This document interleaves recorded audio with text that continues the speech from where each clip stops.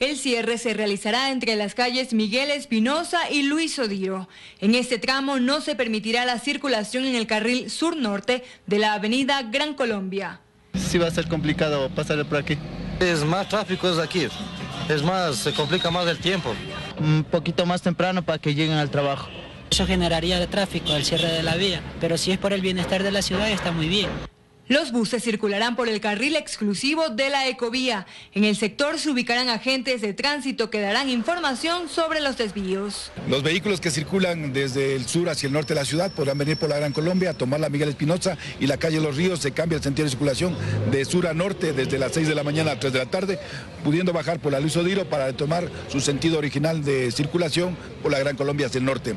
El cierre parcial se debe a trabajos del Metro de Quito. La zona que vamos a cortar en estos momentos se va a construir la estación de la Alameda. Este primer corte es simplemente para desviar un colector de 1.200 milímetros de diámetro y una tubería de agua potable que se interceptan con el cuerpo de la estación. El tramo del carril sur-norte de la avenida Gran Colombia permanecerá cerrado durante cuatro semanas. Johanna Cañizares, 24 horas.